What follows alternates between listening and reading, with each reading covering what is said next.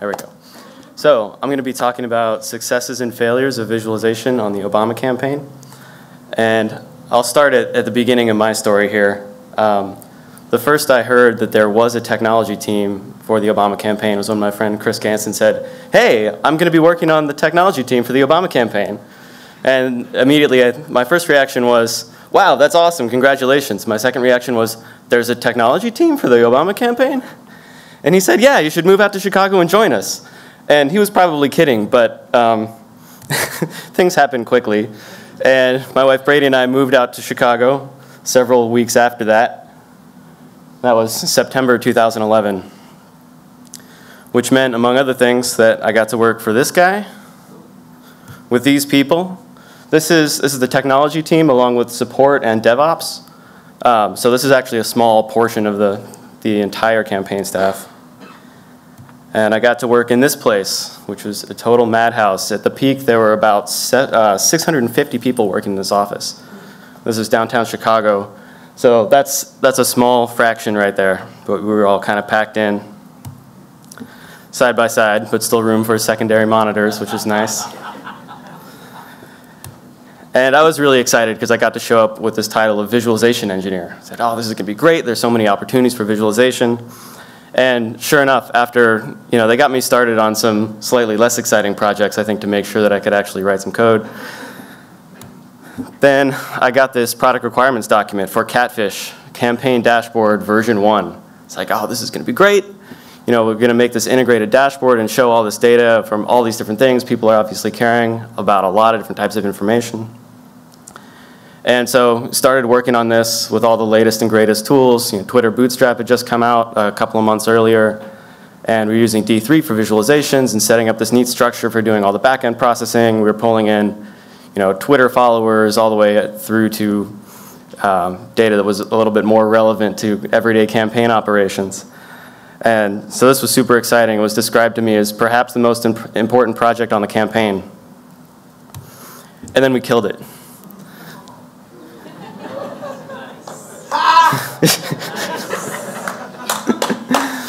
and so as this animates and you all get hypnotized, I'll describe this a little bit more. So of course, at first it was disappointing, right? It's like, oh, but this was the big visualization project, right? This was the big thing. And, and I think there were a couple reasons it got shut down. And, and one of them, I think it was really about like, what are we building for whom and why does it matter to them right now? And the reality was the people who were in charge of watching the number of Twitter followers, they already had a way to see that. You know, people who are watching the budget or figuring out, you know, what our strategies were going to be in different states, they already had their own tools, right? And, and just saying, yeah, we're going to make an integrated dashboard and show everything wasn't actually solving anybody's problem. And I think it relates really nicely to what Amanda Cox was talking about yesterday of like, what kind of wow do you want? And, and for a lot of circumstances, WoW on its own doesn't really get you very far.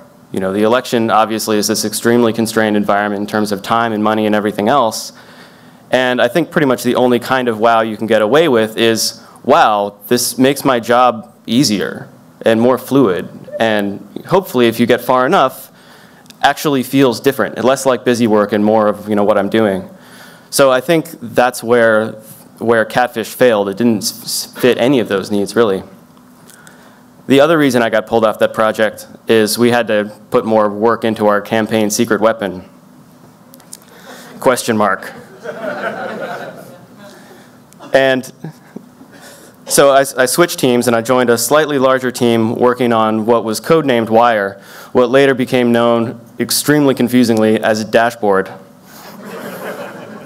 so here's some early wireframes we had for that few more iterations. Towards the end, it ended up looking like this, which actually sort of starts to look like a dashboard again. So I'll talk a little bit about the team and the process. We had, this was towards the end, we were trying some different experiments with how to prioritize features and how to have a little more visibility within the campaign. But we had a team of um, a kind of a varying number of, of engineers and designers. But at its biggest, the team was maybe 10 people or so.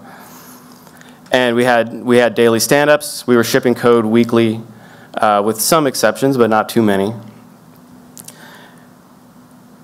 And luckily, there were still opportunities for visualization. So first, actually, let me talk a little bit more about what Dashboard really was. It's, it was described as the online field office. So in 2008, there were a lot of you know, social media pieces to the 2008 campaign, and excuse me, and there was a really strong field structure, but they were pretty separate entities, right? It, one wasn't really a channel feeding the other. And so one of the big things for 2012 is we wanted those to be integrated. You should be able to come to barackobama.com and say, yes, I want to volunteer, and, and be part of that field structure by joining that online. So Dashboard was really our attempt to do that. So early on when this was getting going, we wanted some way to show, yeah, there's, there's activity on these teams, right? It's not just a, a, a list of teams and states and things. And so one of our designers, Taylor LaCroix, put together some designs for saying, okay, well, let, if we just want to show the stuff that's already happening in Dashboard, like comments and things, let's have a fun little interactive graphic that we can put on the team page and, and show something. So we ended up with this. So this is showing messages and status updates and things like that over the last seven days. So if you hover over one of those sections, it'll give you the number for that day. And you can kind of see, oh yeah, there's, there's stuff happening here. And just to talk about the technology a little bit, for this we used D3 for the visualization and actually Miso dataset uh, for the data side. And this, this helped a lot um, for the fallback case. So some of you may know D3 doesn't like loading in older browsers, whether or not you want to use it for rendering. So with dataset, we were able to split that out, and admittedly, the processing is not very complicated here on the data side. We're calculating percent change between two numbers. But um, in older browsers, we had essentially exactly the same layout, but without the arcs. And that worked pretty well. It's kind of a, a simple way to do that. So this was fun. We were really proud about proud of it, and you know, I got to use D3, which was neat. And we we built this thing over the course of a couple of days, and then we killed it. So there are a couple reasons for this one too. One is that Dashboard was still really early on in its history, and a lot of these teams actually didn't have activity. So you go to the page and you see zero, zero, zero, zero. So you know, that was sort of a problem. The other thing that was happening though is that there was activity starting to happen that was more important. So these are the things you might more closely associate with a, with a campaign, right? It's really, it's about call attempts, it's about contacting volunteers, it's about how many voters have we registered, right? This is really the heart of the field operation. And more than just the numbers coming back, there are also goals set for all of these things. You may have heard that the campaign was a very metrics-oriented place, and that was true in a lot of ways. This was one of them. Okay, so now we've got a new challenge. This will be good. And so this is actually a little bit tricky. This is not what the interface ended up looking like. This is a really early sketch. But if you think about this problem, it's a little bit complicated because you have, you might say, okay, we want to make this many calls in California or in Nevada, say, and we want to do that over the month. So you've got to break it down week by week, what are our goals, and then you have to break it down through the field hierarchy. You've got the state, and then you've got regions all the way down to neighborhood teams. So it's actually kind of a difficult thing to plan, exactly. And then at the high level, you want to be able to see how you're doing. You know, how's your state doing? How's your team doing? So we started sketching out a lot of stuff in D3. You know, tree maps seemed like a good idea, right? You can show the hierarchy and the values. Um, you know, playing around with sizing that in different ways. Tried some fun stuff with radial layouts. But eventually decided to focus on this idea of how do you plan? How do you set these goals? And we started thinking of it this way, where you have your overall goal, and then you have a path to get there. And then this has this nice property where you can overlay the actual numbers as they're coming back and compare that to your plan. And so this isn't quite the final interface. I unfortunately don't have a screenshot of its, its end state, but it's pretty close. So here you can see there are these high-level goals up top, and then you have the, the rising line that shows you how you're doing and is you know, determining how you want this curve to look. The teams might be growing or you know, there are things like that that affect that. It's not strictly a linear thing. And then on the left, it's balancing those goals across the teams within your state or within your region and it's coloring by how close they are to their goal. So you could drag these things around or you could type in the numbers.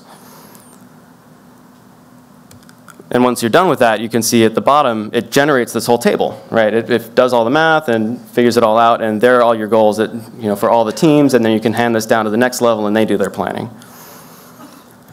We were pretty excited about this. We were getting some really positive feedback, surprisingly positive feedback, maybe even. And so then we, we deployed it, people started using it, and then we killed it. And this one was actually a little more subtle. And it started, we started finding out about this through bug reports or feature requests, right? So people are using it, everyone's like, yeah, it's great, it's a really cool demo. And then we got a, a feature request that said, oh, hey, could you change it so that you could, you know, more carefully drag that dot? I was like, well, that's kind of a funny request. Because if you're dealing at the state level, like what's the difference between, you know, you move it one pixel and you get three more calls or something, right? Like, what's the big deal? And if you're at the team level, you're talking about small enough numbers that you have fine, fine enough control. And so we kind of went back and forth and back and forth. And it turned out that whichever state this was, they already had a spreadsheet doing the calculations, and all they needed to do was enter the numbers. So we had designed the worst possible text entry tool, effectively. So even though it demoed very well and it matched conceptually what they were doing, it didn't match their existing workflow. And we saw that in a bunch of different places and in different ways, because the different teams had different histories, they'd built different custom tools. So there was really a wide spread of what, what people's workflows were and what they were bringing to this. So I'm going to take a slight detour and talk about some of the other visualizations that were used that we didn't make. Uh, well, okay, this one we made, but this was pretty simple. Simple countdown. This was on screens all the time just to remind us how little time we had left down to the second. This was posted in the lobby. It started with just the countdown and the numbers, and then maybe at 40 days out, and they added the sprint then lean, as if you could sprint for 40 days, right? Although incidentally, we did work 40 days straight for those last 40 days. I'm sure plenty of people watched this during that whole cycle. That was a particularly nervous moment for us. But, you know, we started pulling back, back out of that gap, out of that trough. But eventually I saw this tweet from Nate Silver and thought, you know, maybe we shouldn't be paying too much attention to these. But there are plenty of things we did pay attention to. We used Chartbeat and, and New Relic and other tools like that that gave us some visibility. And every so often we'd see one of these spikes. And you might wonder, well, what creates a spike like that? And this is just on gottaregister.com. This was like a, a very specific voter registration page. This wasn't the main site or anything. And that happened when Barack Obama did an AMA on Reddit. and of course, everything turns into a fundraising opportunity. So we also had this page. Here's another one of those. This actually is for dashboard, and we'd hit you know almost 6,000 concurrent visits. You might wonder what causes that to happen. That's when the president does a live video streamed through your website. But I think more interesting than those visualizations and those metrics is the fact that these started showing up in our conversations. We had a campfire chat room for the whole tech team and you know discuss all kinds of things, post in your favorite images from the internet where all, most of these things are taken from in my presentation. But you see these things like this where you know, you've got the visualization, it's just a, a screenshot, and it becomes part of this dialogue including things with a little more detail, you know, showing StatsD and graphite graphs. This is one of my favorites just because it's lazy universe hydration viz, which actually means something real. I won't go into it in too much detail, but one thing that's neat is you really know that, that visualizations are becoming part of the conversation and part of the lexicon when you start seeing stuff like this. As you might suspect, that was photoshopped. But if developers and designers are making jokes with visualization, you can pretty much guarantee that it is part of the language and part of just the mode of discussion. So here's just a, a, shot of some of the, the New Relic graphs we were looking at for performance monitoring. And that became a big part of the whole of our whole DevOps workflow and monitoring, much like what Abe was talking about. In fact, using some of the same tools. We had a really great DevOps team, And, you know, we love DevOps because they deploy our tags, but we love DevOps even more when they show up with screens like this. So this is using Cubism. It's an open source project uh, built by Square. It uses D3 for rendering. If you guys haven't seen this particular technique, these are uh, horizon plots. And it's a really neat way of dealing with, with graphs where you need essentially a lot of dynamic range. You know, normally if you think of doing a line graph or something like that, you need room for your highest value always. And if you have things that are, you know, usually down here and then jump up, if you change that scale, now you can't see this variation anymore, right? So this is a technique of essentially wrapping those around. So the darker color means that it's exceeded the scale and come up to the bottom again. So you basically preserve dynamic range and you can have these things that are only a few pixels high. And of course, once you've got that, you can stack a bunch of them together. So DevOps use this view to look at correlation, right? They'd see they'd, some alert would go off or someone would complain about something not working and they could pop this open and see, okay, which of our systems are, are having this problem and, and it helped them get to the root cause. So I don't know if you've seen this, but this is the wind map by Martin Wattenberg and Fernanda Viégas. And I wouldn't say that we use this for everyday monitoring per se, but this actually was a, an interesting moment for us is uh, that was during Hurricane Sandy. And there were, there were plenty of things that happened in that. It was a, obviously a terrible event. But one of the first things on our mind was that's awfully close to Amazon's East data center.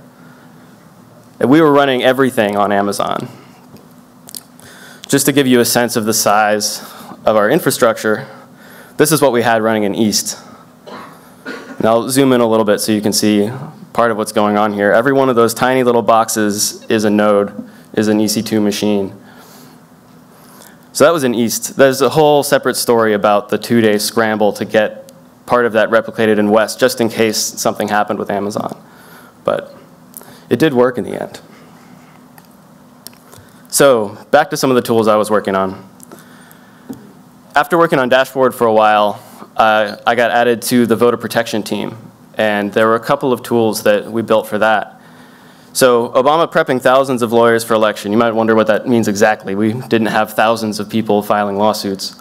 But we did have thousands of volunteer attorneys going to observe polling places. And it turns out that's a pretty massive thing to coordinate. You know, in previous cycles, that was done basically with printouts of Excel spreadsheets and a lot of phone calls. But this time around, we wanted something more structured and, and easier to use. So there were two pieces. There was the volunteer assignment tool, which I'll show just briefly. It doesn't have too much visualization in it, but it's got a little bit and some, I think, some nice little touches. So you pick which state you care about, and then you get to this page which shows you, you know, per county you get to go in and drill down and say, okay, here are the polling places we want to cover, here are the volunteers who've signed up, and how do we match them up?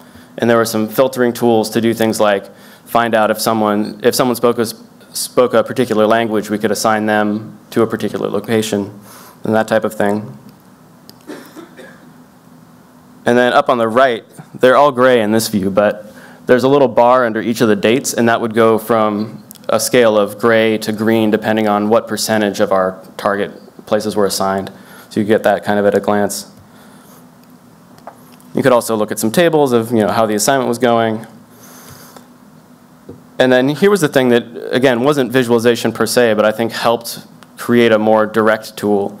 So once you assign all these people, you have to email them and tell them where they're going when. Um, and so this is a little interface I built where you can check the people you want to send it to, and it'll automatically pull up their schedule information.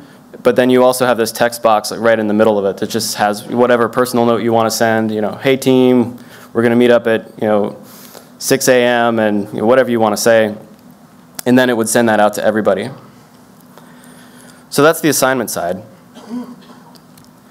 Then we have the incident tracking side. You know, how do we actually record things that happen?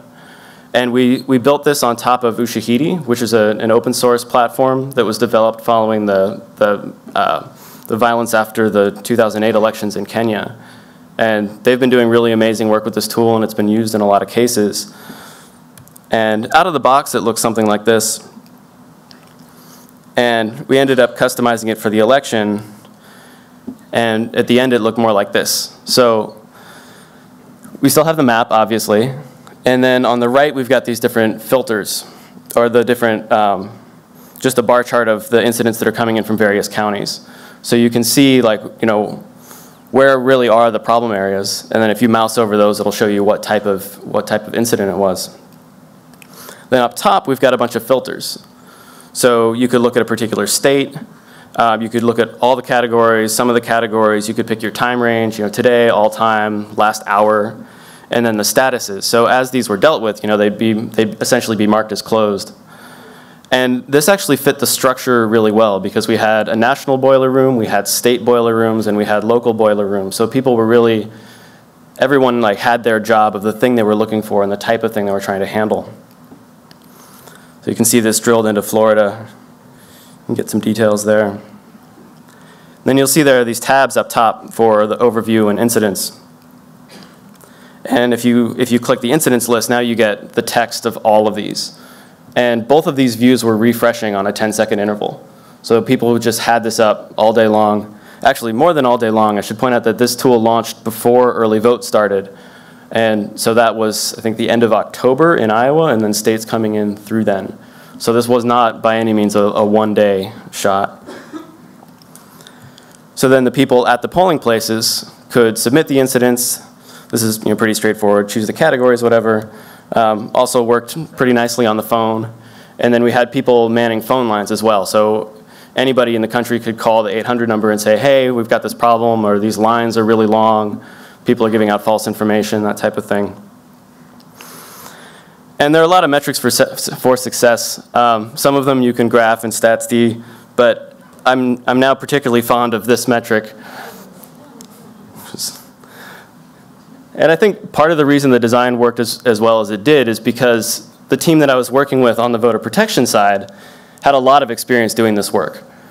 You know, Dashboard was was a really big project and it was really the first of its kind. But for this area, we had people come in saying, we've done this you know, seven times at different levels. We've worked in different roles. And we basically know what we want.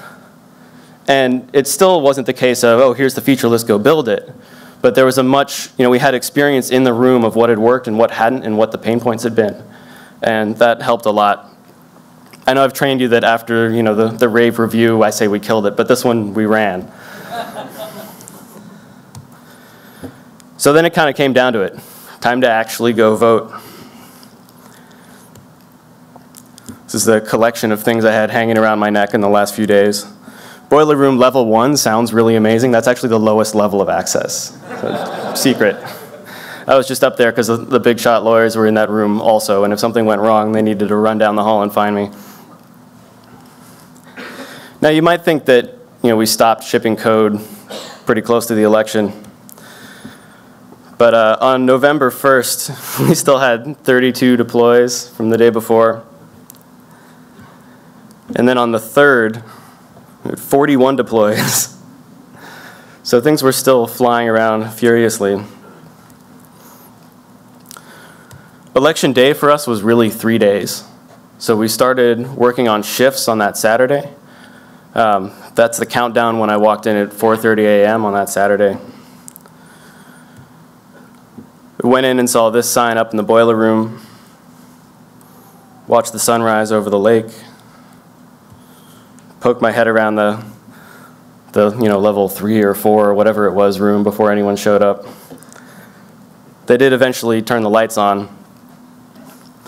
So you all know the saying, it's, it's not over till the fat lady sings. I think there's a little known corollary that says, it's, it's not almost over until Eric Schmidt sends you a fruit basket.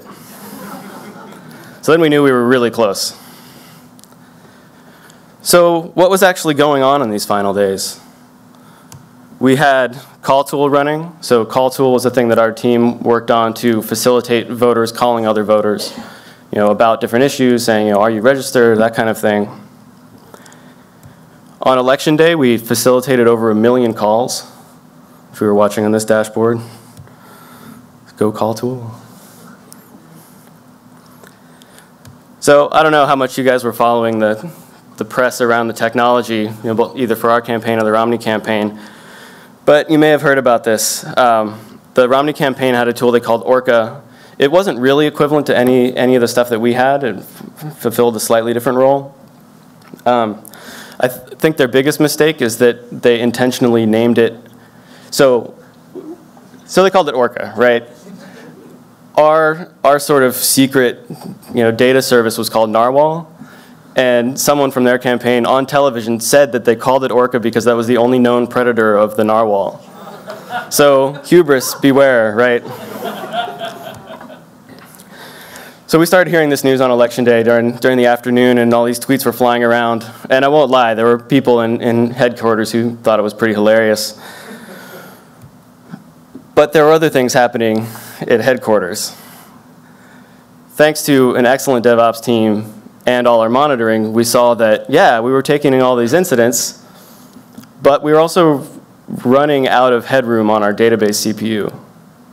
And because we had professionals watching that, they came to me a couple hours before it would die and said, hey, you've got two hours. If you don't fix this, we're going to have to swap it out, but we can't swap it out live. We'd have to stop it and bring it back up, which was not something we were excited about telling anybody. So we were scrambling a little bit and weren't focusing too much on Orca, but not wanting to be the next headline, right? It would just be a matter of minutes for that. Luckily, by looking at New Relic and by talking to smart people and people who were keeping us from freaking out, we were able to fix it. You can see that line right there is the deploy we made at 2.30. And looking in a little bit, you can see all this die back down, everything goes back to normal. It turns out we had one extremely inefficient database query that we weren't even using. It was just kind of still sitting there. We were able to excise that and everything was fine.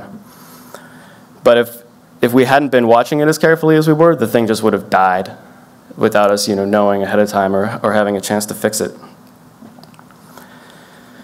So you might wonder what it was like up in the boiler room when the election was called.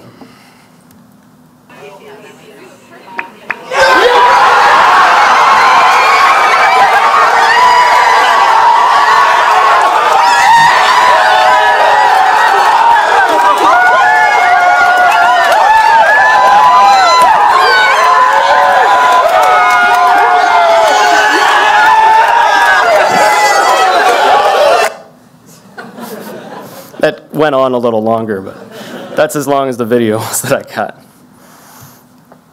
We went to the election night party. Everyone loves confetti, or whatever crazy stuff that is.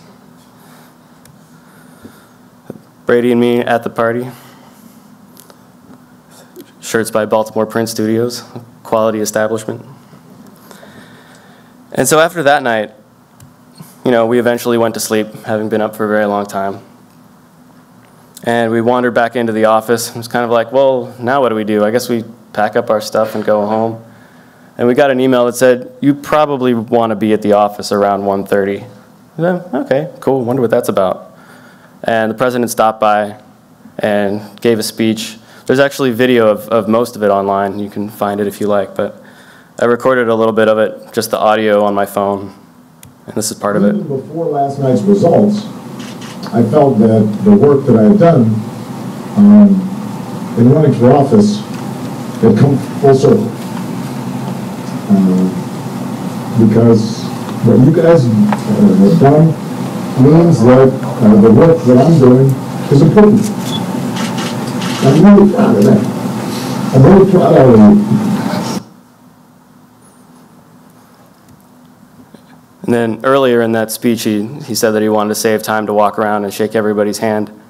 He actually went around and hugged everybody, which took a really long time. There were still hundreds of people in the office. And that was just a really unexpected thing. You know, no, none of us were prepared for that. It was an incredibly emotional day on top of an emotional day. So then we did go back to packing up our office, and I had borrowed a copy of of the Audacity to Win, and it was sitting on my desk. And while I turned around, someone put a sticky on it. then we all went home. Thank you.